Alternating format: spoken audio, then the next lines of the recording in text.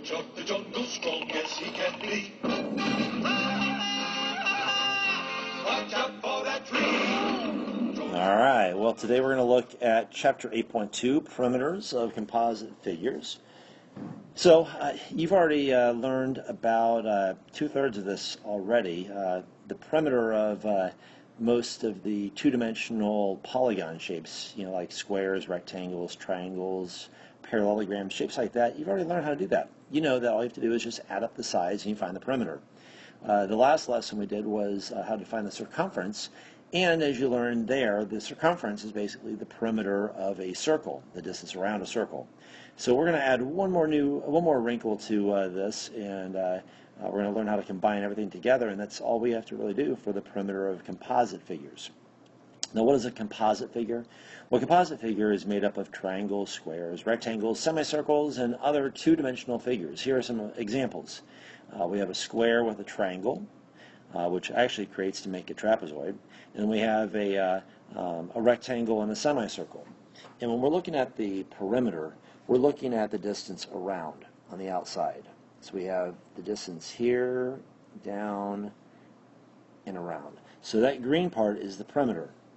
Or over here, the red part we're putting here, oops, the red part we're putting here is the perimeter of the uh, uh, rectangle and semicircle.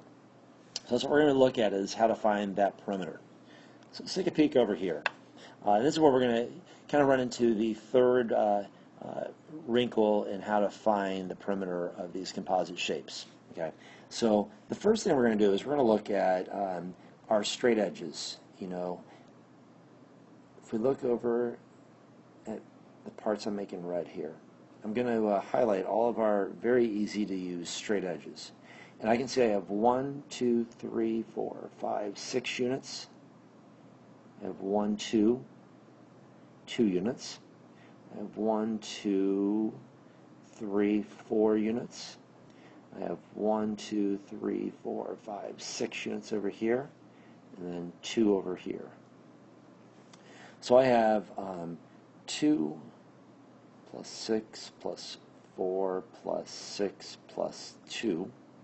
And if I add all of those units up, I end up getting 20. Now I also have this diagonal that goes across here, and I have this diagonal that goes across here. And you'll notice that I have a square, so I have the blue square here. My diagonal cuts it right in half. Now, when using the Pythagorean theorem, which is an eighth grade concept, which we may get into later on this uh, year, we'll learn that if the sides of said square is one unit, uh, then the diagonal going through it is approximately 1.5. And that's what we're going to use here. So we're going to look at how many diagonals we have. We have one, two, three, four. And then I have one, two, three, four. So I have 4, 4. So I have a total of 8. I'm going to multiply that by 1.5. Okay? Um, and again, that 1.5 is telling you that is approximately the length of that diagonal. So when I do 8 by 1.5, I get 12. Then all I have to do is add 20 plus 12, giving me about 32 units.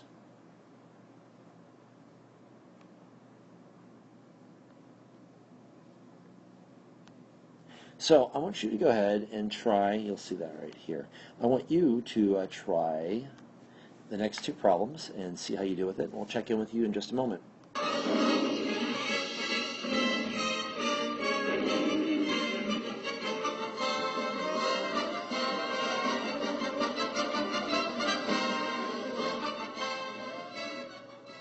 Okay, let's take a look at number one to begin with. So for number one, I'm going to highlight our straight non-diagonal edges first. I have this one and this one, that's it. So I have one, two, three, four, five, six, seven. Should have seven on the other side. Let's make sure. One, two, three, four, five, six, seven. Seven across here. So I have seven plus seven is 14.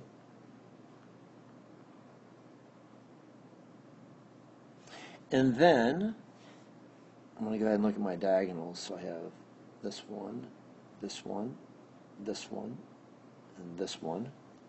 So I have one, two, three, one, two, three, one, two, three, one, two, three. So 3 times 4 is 12. So I have 12 times that 1.5, which gets me um, approximately 18. So I'm going to do 14 plus 18, and that gets me about 32 units.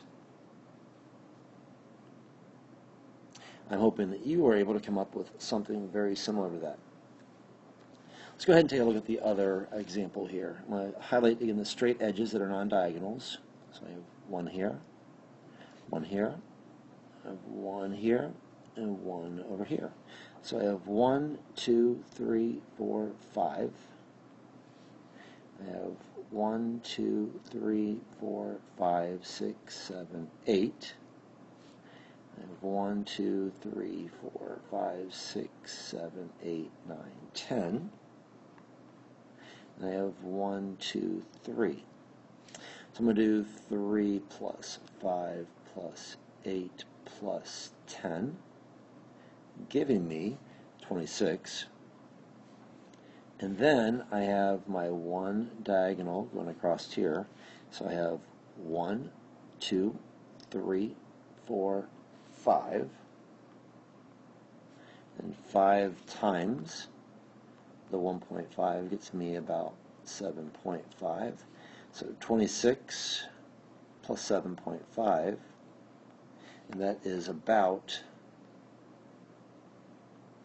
33.5 units. Oops.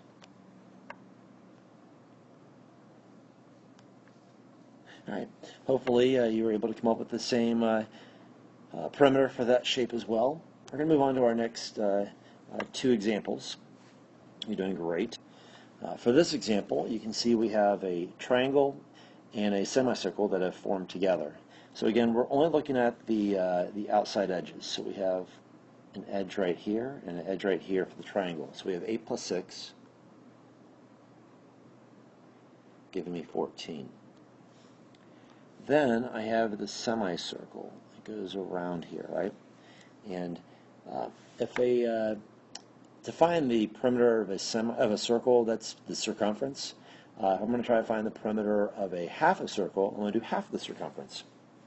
I'm given uh, the diameter, so I'm going to use c is equal to pi times the diameter. But since I only need half, I'm going to multiply by uh, 1 half, or if you want to use 0.5.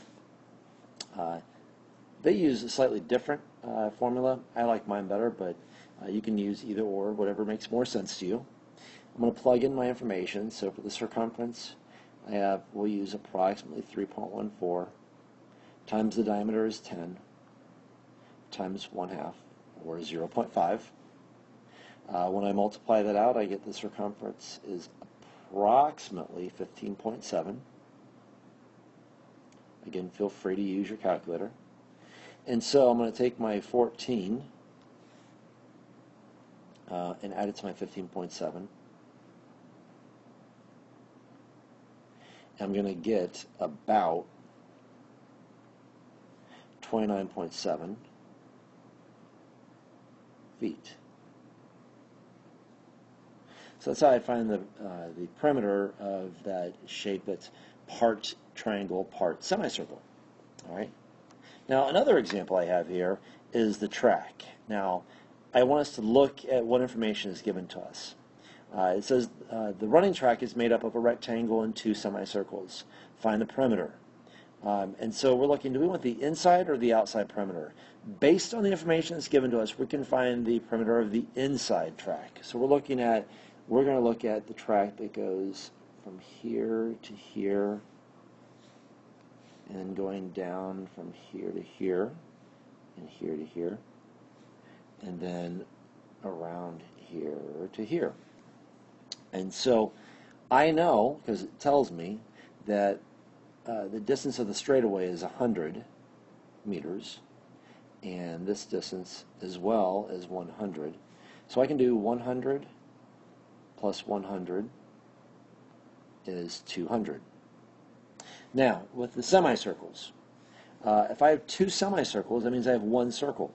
So I can do circumference is equal to pi, and I'm given 32 as a radius, so I'm going to do pi 2r.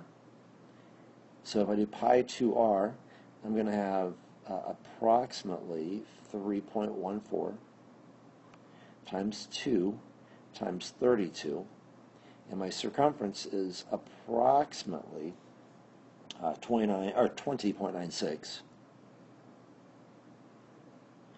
I'm sorry, 200.96. So I can take my 200 plus my uh, 200.96, and I'm going to get uh, about uh, 400.96 meters. And so uh, the perimeter is about 400 and 96 ten, or 96 hundredths uh, perimeter or meters. Okay, and so I'm going to go ahead and have you guys try number one, uh, three and number four, and we'll check back in with you in just a moment. See how you did.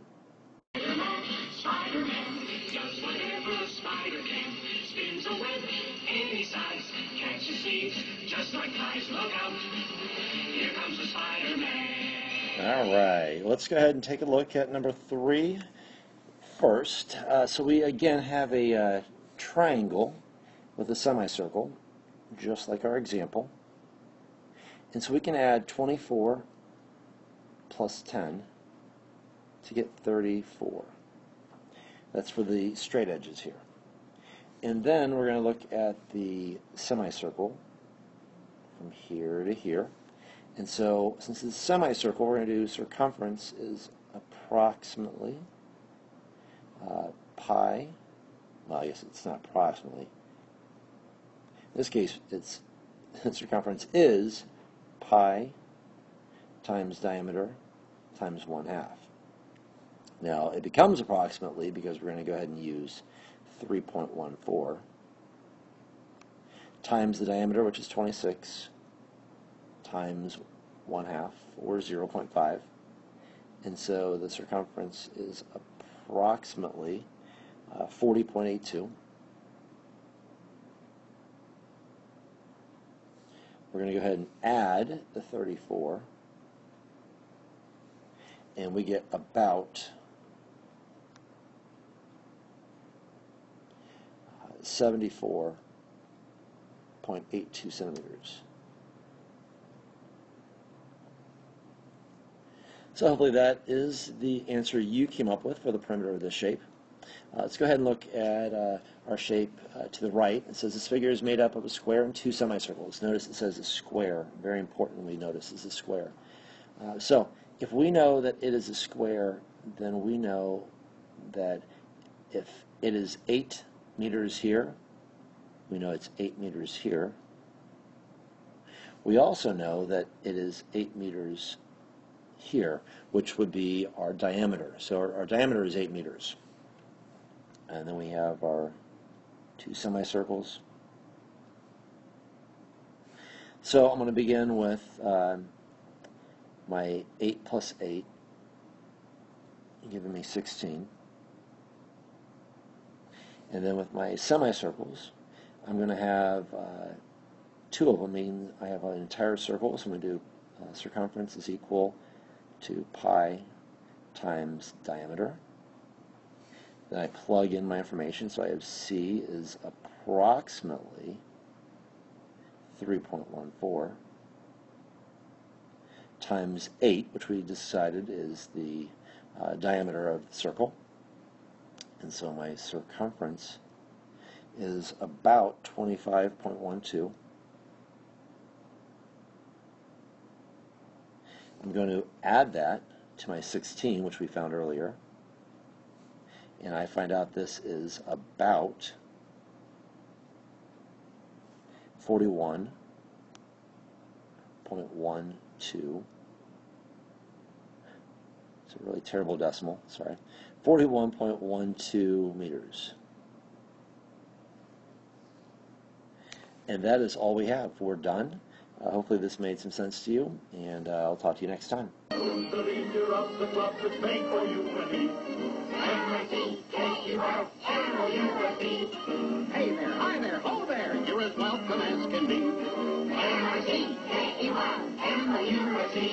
Today is a day that is filled with surprises.